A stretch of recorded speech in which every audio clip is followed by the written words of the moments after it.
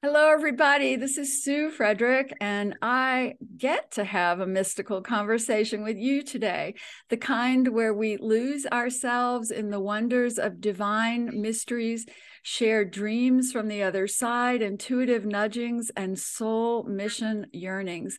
This is what happens when we lift above our ego mind and review life from that place of open hearted divine inspiration. Hello, I'm Sue Frederick, author of eight books, including Through a Divine Lens and Bridges to Heaven. And I'm a lifelong intuitive, master numerologist, ordained unity minister, and soul regression therapist. I've helped thousands of clients help find their way through this tough realm that we call life. For more information about my work, you can go to suefrederick.com. However, I have the greatest gift for you all today. I just can't even hold back my enthusiasm. My guest is the beautiful, amazing, and unearthly, heavenly Fara Gibson. And I'll spell it for you because her website is her name, F A R A G I B S O N.com and let me read a little about her to you. Um, she's a, an angel soul. Let me just summarize and say she's hardly here on earth, even though she's the most realistic person you have ever met when she gives readings on the stage. little cussy. but she um, says that by the time she was a teenager, she was already giving people readings and seeing spirits from the time she was a child. And when she saw Sylvia Browne and John Edwards on their TV shows, she said to herself, well, whatever disease it is that John and Sylvia have, that's the same disease that I have they made her feel normal again because they were exhibiting the same abilities that she had had her whole life. Now she has three books out, and the one I love so much is called Heaven's Voice is Within Your Soul. Let me tell you yeah. one other thing. She is involved with helping parents heal, which all of you who follow the podcast know is my heart's. I love helping parents heal and last week and she spoke at the helping parents heal conference in august and then last week she came to a big helping parents heal meeting and i got to sit at the front row and watch this woman give random readings to strangers in the audience that knocked my socks off. I can't even explain it. Fara, would you explain how you do and what you do? yes, yes. You know, I think because I'm such a matter of fact person and I'm so no BS myself. I don't know if I'm allowed to cuss on here because I am a little cussy. Um, so I'm going to try to be good. I think that one of the things that I learned early on, if I was going to deliver this, I wasn't going to let heaven make me look like an idiot. So I really have strict guidelines for them. Like if I'm going to bring something through, it's going to be specific. It's not going to be a general statement that I could give to anybody like, hey, oh, they love you, oh, they're with you, or they're watching over you. I want them to give me some example of that.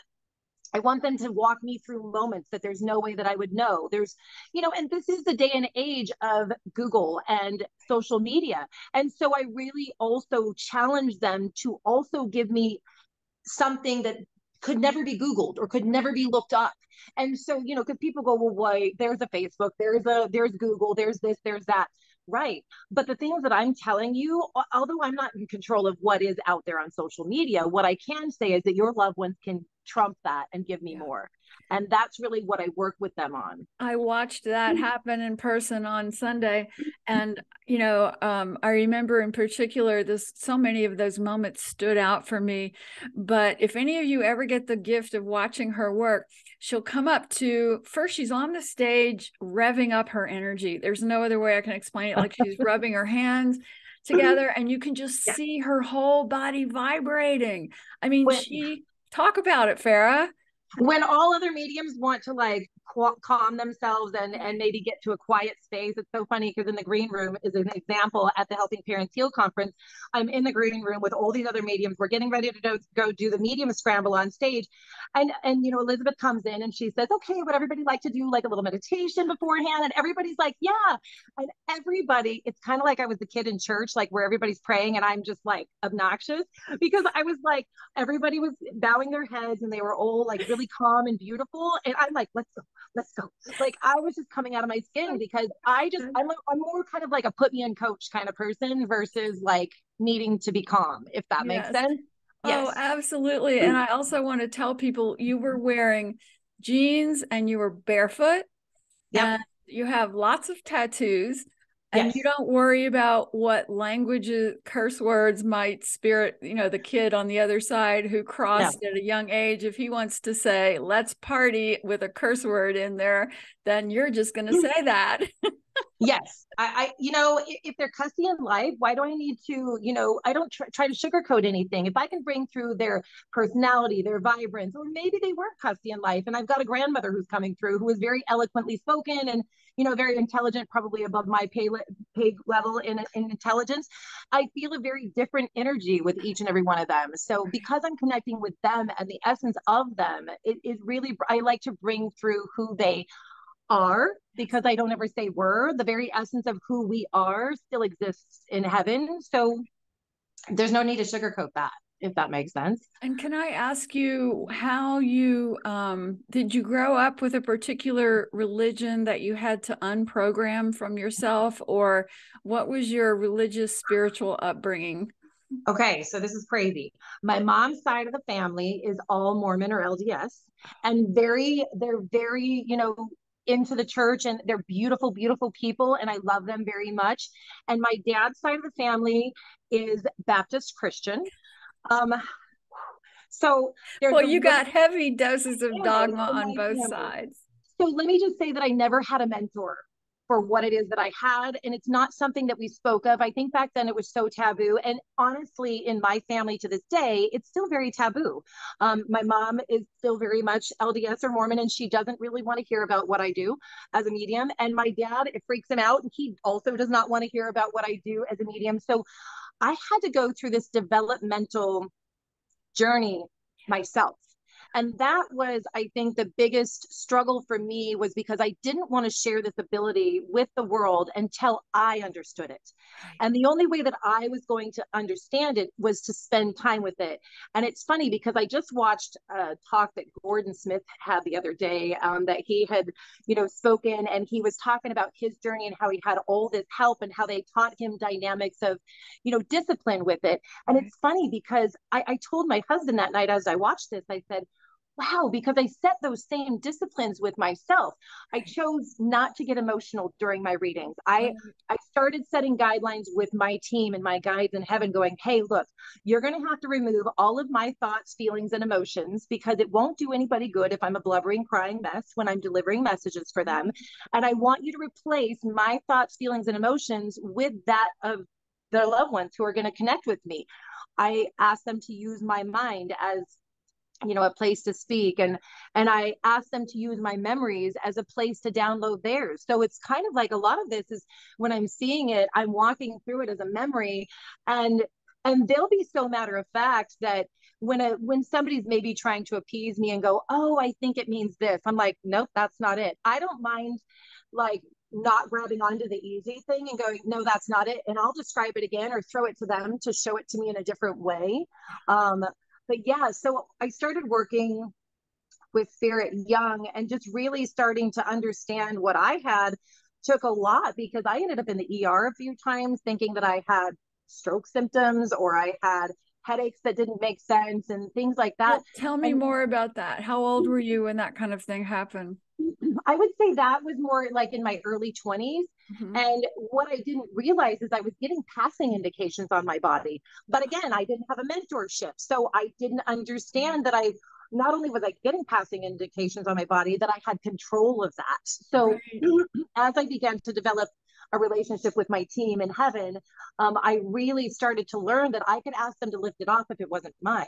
Wow. So, you know, so when I'm getting a stroke symptom or I'm getting a heart attack symptom or I'm getting a cancer in my liver symptom, it doesn't necessarily have to, but I do need to know if it's mine as well. That would be so great. you offered your body to be the canvas, so to speak, for Correct. spirit because I you know, on Sunday you would say, "Why am I feeling such and such in my left side?" and I'm drawn over here, and you'd walk over to a couple of parents sitting in the mm-hmm. aisle, and then you'd say, "You know, I'm feeling like this seat belt, and I'm feeling the car swerving off," and you would describe it like you were in the car going through it Yes, because they walked me through it in my memory. And I even remember there was a validation recently where I felt like my soft spot was shifting to the side, you know, and so um, as a baby. And and so they'll give me like I'll feel like, oh wait, I'm missing a finger, or my left leg is missing, or I had breast cancer and I had a lumpectomy in the right, but my breasts are still intact. So I will genuinely feel that and think it at the same time, almost like a memory. So it's almost like I'm remembering, like I didn't get a full mastectomy, but I did have a lumpectomy, but only on one side, and the other side was cancer free. And I, I, want them to be that specific because those are, you know, because in, a, in an obituary, somebody might put, oh, she mm-hmm. passed from breast cancer. Right. But they're probably not going to put her journey and mm-hmm. and where her removal was and where she was still intact. And those are the things that I can challenge them to give me above and beyond what somebody may have put out there in honor of them, if that makes sense. Yeah. And how do you separate? You mentioned a few times on Sunday mm-hmm. that you ask spirit to separate your thoughts from the departed's thoughts. How does that happen? How does that work? Very carefully. So uh, it's really kind of did I think that or did that thought come at me? Is really the best way to explain it. So if it's popping at me or popping into my head, you know, I, I'm kind of speaking to them back and forth. So your thoughts, your thoughts in your mind are your soul's voice speaking. It is so amazingly loud in heaven. They hear every single thought we think because it's the same way that they communicate. And so for me, I just I I uh, heard somebody describe it as like a chalkboard at one point, you know, where my words are written in white and theirs are in yellow. So there's not much difference, right? And and so and I don't see them like a chalkboard, but I'm just saying it's like that subtle of a difference. And it's also such a subtle thing. So I tell you, like you guys can hear your loved ones as well. When you see a hummingbird outside and you go, wow, that's like a really cool hummingbird, you know, that day it's just a cool hummingbird. But when you see a hummingbird outside and you go, wow, that really reminds me of my mother Mm. Um, that's your mom in that moment saying, Hey, that hummingbird, that's from me. I sent that. And I try not to bind them to one specific sign with my clients, only because maybe it's not hummingbird season and they're not around or butterflies don't come around in the cold or whatever so i don't want somebody to think that they're incapable of like you know they're they're not around they're not sending me signs the reality of it is they're they're so capable of so many limitless possibilities with their signs that they give. Mm-hmm. so you know i say that anytime you see something that brings your thoughts to them that's them saying hey that's me. I did that even if it's mischievous. So yeah. So one thing i want to tell the listeners because i have a lot of numerology clients and students on here and I'm sure they all can tell that I'm completely in love with you, Fara. And so I want to tell my students and clients that Fara is a 22 master soul, and you guys know that I'm on the same path of the 22. So we're each manifesting it in different ways, but we each agreed to come here to help shift consciousness through a lot of hard work. I have to add that in there. That's part of the 22 4 path. And Fara added Aries to be her sun sign. So she's the Aries 22, basically unstoppable. And I'm sure you can tell that from looking at her energy. I hope you're watching the video of this just to see her eyes. The only way to describe Fara's eyes is to say they are they are heavenly, like they're a pure channel from heaven. They're not earth eyes. Thank you. And there is a lot of hard work that goes with this. And I think it goes back even, you know, even as a kid growing up. I mean, I went through a lot of turmoil growing up in my life. There was never moments that were really super easy for me. There was a lot of abuse in my childhood. There was things that I went through with my ex that were filled with a major abuse as well. You know, so there's a lot of moments in my life that were extremely challenged. But if I look back on those moments, I wouldn't change any of them because I wouldn't be able to help people at the level that I help them at now had I not been through those moments, not been able to relate to those moments, and really just walked in these holier than thou shoes of like, oh, your life's going to be just fine. And they're going, whatever, you've never been through this. And I can go, girl, I can make you like, like you have no idea. But at the same time, my life isn't a competition for yours. Yeah. I'm living my life for my spiritual growth and I'm adding to yours with it. But, you know, it's definitely not a competition. So, so yeah. do you think that you signed up for an intense life because um, you knew that not only would it bring you to this place where you'd be able to help so many people um, and, and to give you the depth of wisdom as you're talking, but also because you're an old soul and you just sort of know, you know, before you jump in, hey, I'm not going to go down there and waste my time. right. Not going to waste my time. And it really does take all my life experience to really do these connections for people in a way that I can really relate. You know, so I mean, they'll show me my memories to really try to be more specific. So, I mean, I did a reading one time for a gentleman who did not expect to have a reading in that moment. And I was at a group reading, and this guy was sitting in his easy chair in a gruff, you know, like position the whole entire time. It was the lady that booked the reading with her husband, and he didn't want to be there. And so, you know, then at the very end, I said, Can I go to you? And he said, Give it your best shot. And so I thought, well, game on. He has no freaking idea what he just said there. and I felt like I had two Vietnamese soldiers that were coming through, and they told me that he had met them in the battle at Vietnam, and he told me they had told me that he had to take their life. Um, in that moment, and and they were showing me how he had taken their life, and this man's jaw is just completely dropped. And and as i'm saying these things to him and giving him specific you know ways that they passed and all of all of these moments you know what these men were coming through for was really to let him know that they were part of his team that they were literally lovingly watching over him you know, from the time that he took their life until the day that he joins them again, and they'll high five him again in heaven someday. Mm-hmm. And it's a pact that they had written in heaven long before they ever came here. And so it's really, you know, it, yeah. So you relieved his guilt. Oh, amazingly. You know, he actually looked at me at the end of this and he said, I've been in PTSD meetings since the day that I got home from Vietnam and I'll never have to go to one again because I was able to let him know that they were lovingly watching over his team. And, and here's the thing it was a souls contract that they had with one another. He wrote to be uh, in our U.S. you know military and to go overseas and defend our country.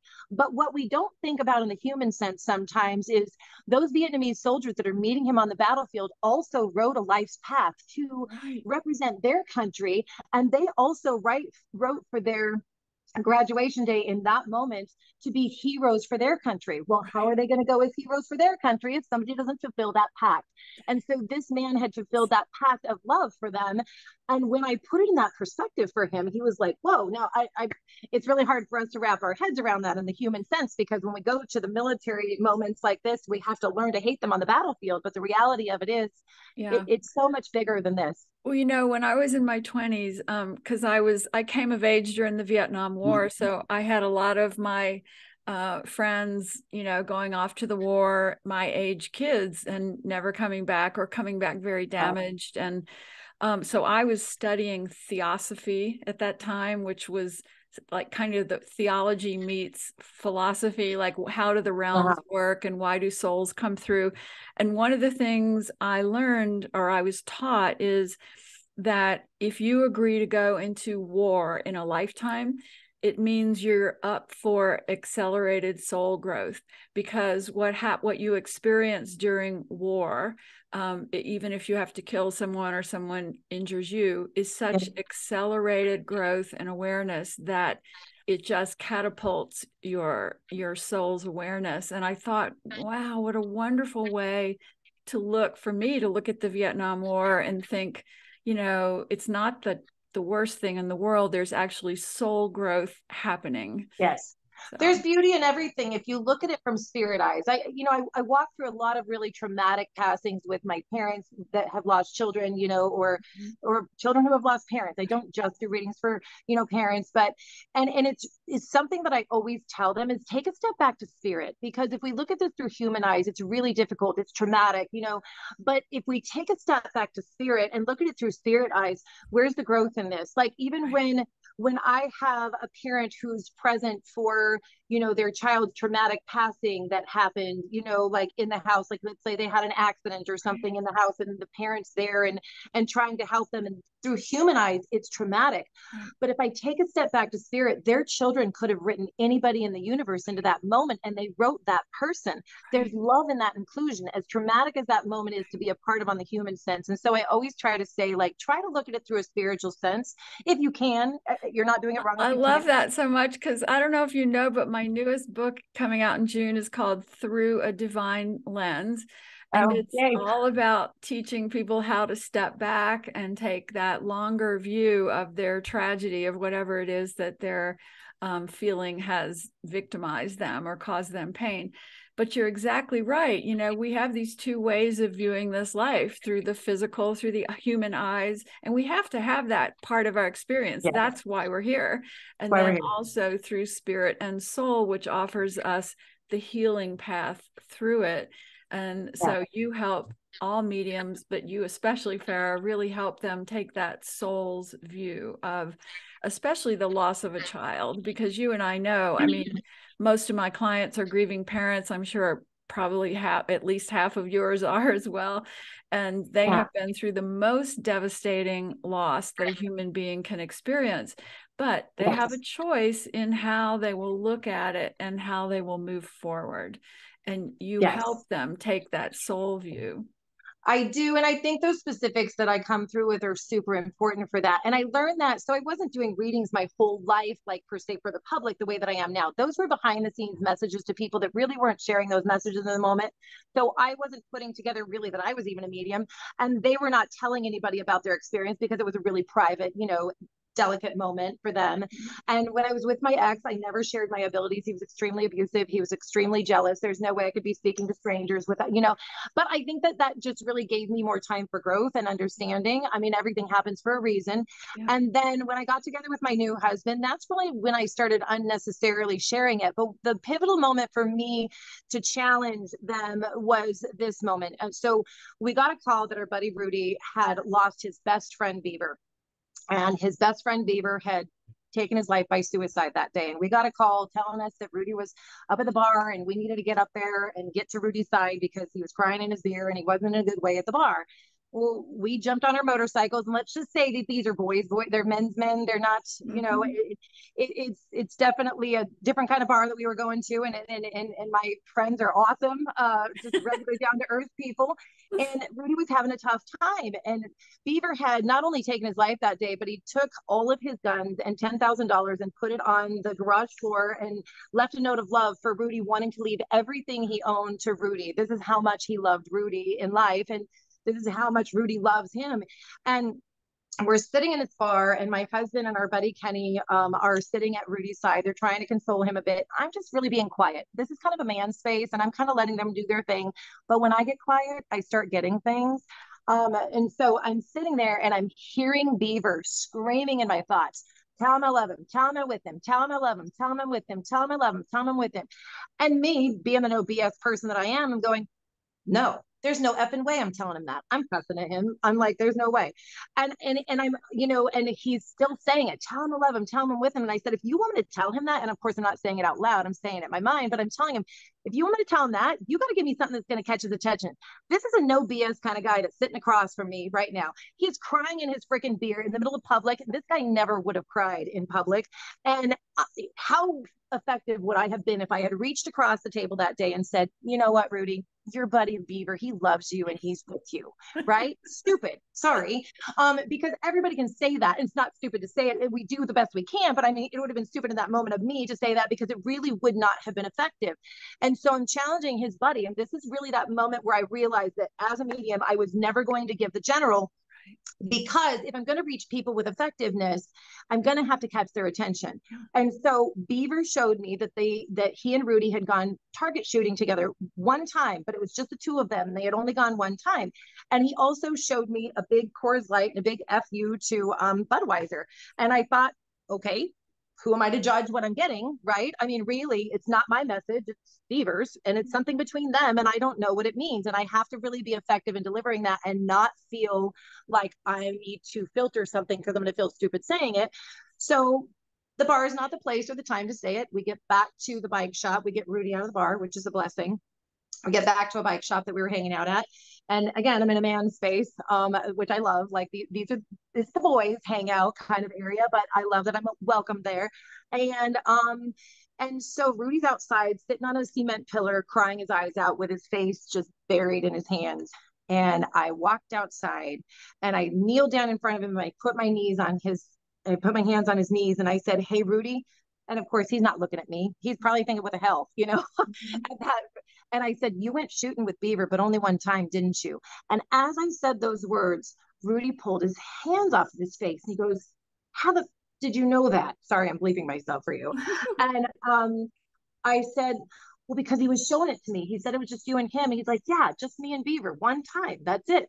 And I said, when he was showing me this big Coors Light and a big FU to your Budweiser, Rudy smiled. and I could that's see great. and he goes, That's Beaver. And I said, Yeah. And now, now that you know that's Beaver, I can tell you he loves you and he's with you because I promised him that I would say it if he gave me something that caught your attention. Wow. That so that's how I work. So you just answered my next question, which is, you know, why is spirit so intent on communicating with their grieving earthbound loved ones? How would you summarize that answer? I would say that they want to give us faith that they that we do carry on. People really teeter on faith of wondering if we do or wondering if we don't. And it's really a don't tell me, show me kind of thing, right? Like you need proof of that. We as humans want proof that we exist after this.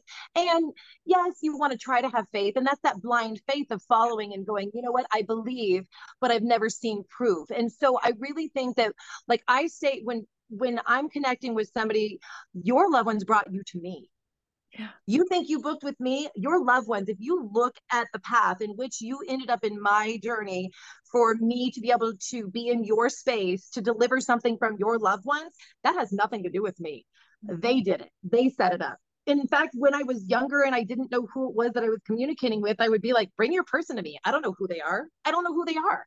And so I really started telling them, bring your person to me. If I'm supposed to say something to somebody, bring them to me. I don't know who it is, you know? So, mm-hmm. yeah. That's so good. I'm so uh, amazed at your courage. I think above all things, you have the courage to speak what spirit is giving you without holding back.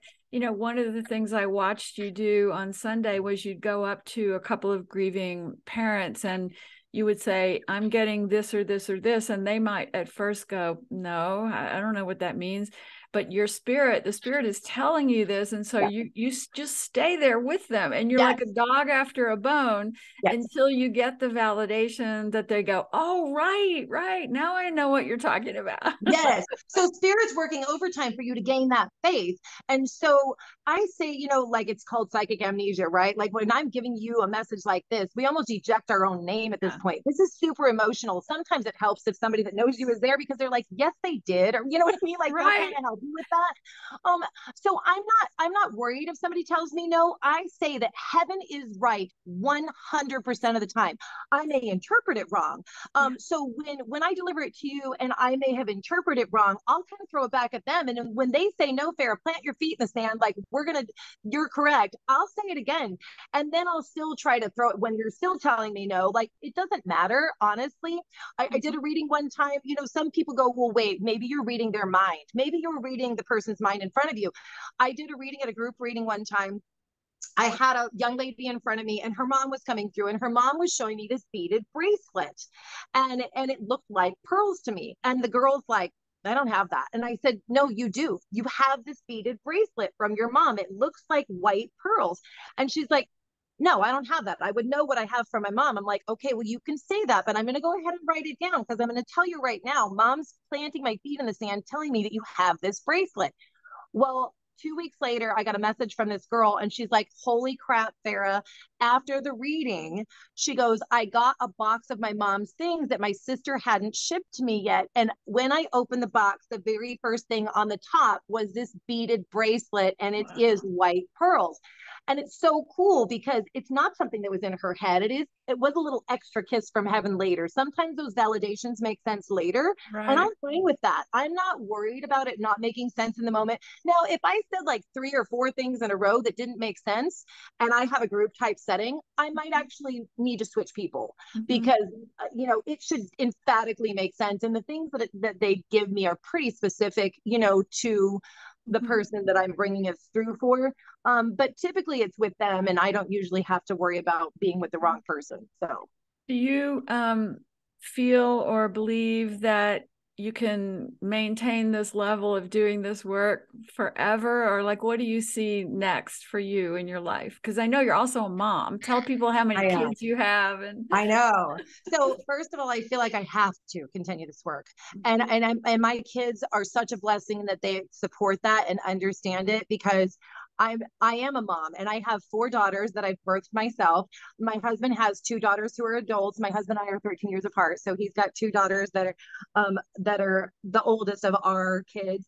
And then he's also got a son who's 17 who's mine. He lives with us full time and he's been mine since he was 3 as well. And he's got a mom as well. But um so we have seven kids between us, none together, but and then we have nine grandchildren as well. So I wish that I could say that I'm the super involved mom and grandma, but because my schedule is so busy, I, you know, there's a lot of time that I dedicate to this. And the kids are like, go, mom, go. We're seeing what you're doing. Like, keep doing it. This is what you're meant to do. And I, so I'm really blessed in the sense that my kids, our kids, are really supportive. I mean, when I get out of this room today, my 17 year old son, he's always like, how are your readings today? Oh, like, I love so that from great. them, you know? So yes. they love to hear about it. And, like well, the good yeah. thing for those kids is they're growing up with the awareness that there is no death that the soul is eternal and that spirits always come back with positive yeah. energy and positive messages you know i mean yeah. that's such a to grow up with that knowingness that's like the answer to any kind of anxiety or fear or anything like that yes and that's a huge thing that you just said as well because it is a positive on the other mm-hmm. side. And so there is never a negative that comes through from heaven. Never. Now they may talk about a difficult moment that we live through or things like that but there's never a they're angry at us for this or they're you know i say negativity doesn't exist in heaven. So that is one thing that will like if somebody tells me i'm a medium too and and you know and, and then they give me something that they told somebody that their loved one was mad about something i'm like oh boy. Right. I know. I agree with you about that. Like i'll have yeah. clients go you know a medium told me that my son was lost in the between Stuck realms or something oh my and i'm like oh my god happen. that is such baloney you know yes. oh i literally had a woman pull she, come into my home for a reading. She was shaking and trembling, and she had stopped at a local medium the day before because she got impatient waiting to get into my schedule. And this medium told her that her daughter's soul was stuck in limbo, and for forty five hundred dollars, she would pray for her soul for six weeks and get her pulled out of that to heaven. And I was See, like, "This is oh what ruins. This is what ruins people's understanding of what it mediums is. do." I said, "Please tell me you didn't pay her," and she said, "I did." And I was like, "Oh, I was oh so heartbroken gosh. for this mom because then I made the most beautiful connections with her girl right in front of her. And she's like, How are you doing this? Or she's stuck in limbo. And I said, That's that's it. She's not. Right. She's there. They're in the most amazing perfection times infinity, the millisecond that they pass it's us who are broken it's us right. who are hurting and so sometimes we impose that on you know how we feel they must be like they must be missing us and they must be sad that they're not with us and they must be sad that they didn't finish their life so to speak i can tell you right now they're not sad at all and they don't even miss us missing us would be a negative emotion instead of missing us they're loving us I so, know. And yeah. I love, you know, that whole idea that a parent will say, and and I have no no fault. I mean, if I had lost a child, I would be worrying about the same things like, oh, they didn't get to go to prom. And I'm right. looking at their son in spirit going, prom? Are you kidding me? This is oh, so God. much better than prom because the divine realms are the most unconditional, love filled, incredible yes. space of no negativity, just constant learning and evolution and connection and then yeah. you think about senior prom compared to that you know you know and i get as a parent you know wanting all of those moments like for them to have had babies or for them to have right. you know had a wedding and see their wedding day and stuff and and those are definite grieving moments that they have every right to you know because those moments are made of love like grief is made of love so our focus upon wanting that for them is made of love but the reality of it is is the love from those children who passed early is so immensely great that they bless their parents with more love and strength than they ever knew they could carry in any other scenario that there would have possibly been. So, what are your thoughts? Um, because when I work with some of these children, they really show up as a team, and and the kids tell me that they crossed early as part of this team of awakening consciousness here to the realization that there is no death, and they're kind of all working together, and they're building up the juju, the energy of it do you believe that's true? Do you feel that when you work with these kids on the other side? Oh, I definitely think that, you know, times have changed a little bit as well. And so I think that our kids are, you know, and, and our loved ones in general in heaven are really working to bring more of a spiritual, you know, awareness to all of us because I think that life's going to be a little bit easier when it keeps getting tougher. This world, you guys, is getting to be a lot more turmoil than it ever was back in the day when our grandparents, grandparents had a little bit more simpler life. Technology was not the same it was not as congested in areas you know what i mean where and and life has changed we have a lot more homelessness and a lot more violence in the streets and things like that you know then so if they can give us a little glimpse that glimpse that heaven does exist and that spirit is around, where our ancestors before us really didn't have that focus a lot of times because they were very religious focused. Right. Um, so this world really didn't seem to exist for them. So I think that heaven's really trying to give that perspective to make this life livable, honestly, so that we don't feel like we need to take ourselves out of the game of life early, right. so to speak, because you can do this. It is possible, right. and there is hope at the end of this for greatness. And and it all makes sense someday. Do so, you believe, Fara, that there are uh, a few or maybe several uh, choice points of when our soul will exit, or how do you feel about that? I do.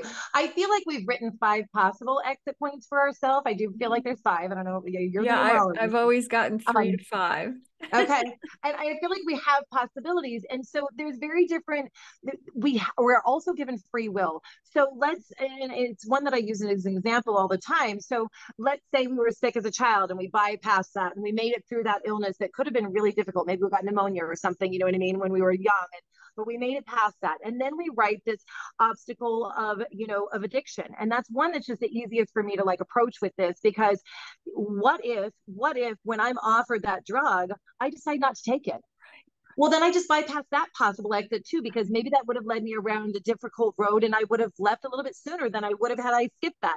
Let's say i skip it and i go on to the next you know part of my journey and and and so we really have these obstacles that we've written and how we approach them with our free will will really determine how fast we grew. Because if you do take an addiction path boy that's not easy. Like mm-hmm. and so we might grow a little bit faster than we would have if we took the easy route so to speak and did the family thing or whatever it is you know? So I mean, know that those those exit points are written by us and nobody's bigger than our blueprint. I don't feel like God takes us. Right. Um, so when I have parents who are angry that God took their child, and I say, no, your child is so amazingly beautiful that they graduated to heaven that day. Right. Nobody took your child. Nobody took your mom. Nobody took your dad. Um, but the reality of it is they're more beautiful than you and me because they're in perfection and we're still here doing this yeah so. I, have always said that the enlightened ones get to leave first yes we're yeah. still here trying to learn and evolve. I must have a lot of enlightenment to catch. Oh honey no you're young and beautiful. I, i'm in my 70s and i'm the one sitting here saying you know gosh how much longer do i have to be in this school? You know like haven't i learned it yet? I would have never guessed you're in your 70s ever. Um, so, Fara, what would you say to anybody who might be listening to this who recently lost, especially a child, but really anyone, and feels that they just can't go on? What would your words of wisdom be? I would say that each and every one of us has a 100% track record of making it through everything's life thrown our way. And your children, you know, if we did go through the loss of a child, the last thing that they would ever want from you is to give up. They're at your side in pure perfection, cheering on your growth. You still have learning yet to do. So don't give up. As much as I, you know, I, I don't want to tell you what you can or can't do or what you're doing right or wrong because there's no right, wrong, or wrong way of doing it. If staying in your bed all day and crying is your way of coping, by all means do that. And they will sit at your side and, and they will love you through those moments of you crying and if you can get out and start doing one thing a week or one thing a month in honor of your love for them to, to do something for others whether we pass out one rose you know one day a month and and and make that you know in honor of your child your children are going to cheer you on no matter what you're doing. And so i always say i want them to be proud of those moments and i want to be proud of those moments. Um, you're going to do a life review and you're going to see through your you know everyone's eyes how your life affected them. And a lot of times when a parent loses a child sometimes the other living children in their home feel like they didn't just lose a sibling but they also lost a parent because that parent is so focused and dedicated to that death And, and if I could teach you that your other children are waiting for those same traditions to be taught and those same memories to be made, and your child in heaven is not dead at all, still very much alive and, and, and encouraging you to keep living, you know, for all of those around you as well, you know, don't forget. And don't forget your worth as well, because you're you're able to take time for yourself and to be in your own space, and that's okay too. So so beautiful. You know, I think the blessing of being able to communicate with spirit as you do, as I do in my way, is that we know we're never alone.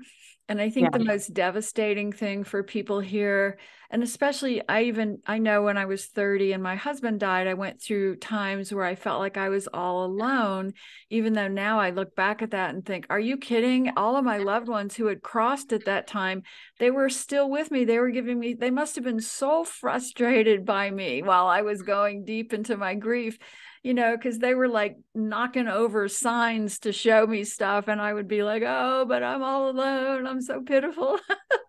you know, and that's okay. That grief was made of love and they weren't frustrated with you. They would have been loving you through it. Frustration doesn't exist in heaven. So, right. yeah. You're right. Yeah. You're right. All oh. Well, you are such a gift, Fara. Thank you so much for your time today. And anybody who wants to learn more about the beautiful Fara, please go to her website, faragibson.com. You can also um, get her books on Amazon. And like I said, my favorite one, she has three of them. It's called Heaven's Voice is Within Your Soul. And yes. Fara, it is an honor to know you. Thank you so much. And I do have a Facebook page, Fara Gibson Psychic Medium, as well. And I do share a lot of my writing there. Even if you never buy a book from me or book a reading with me, you might find enough information there to put things in perspective and bring healing as well. You do post daily beautiful writing because I'm on your feed and oh, I get I re- love your writing. One writer to another. I just got to say, you're amazing. Thank you so, so you. much, Fara. Have a great yeah. day. Thank you. Bye bye.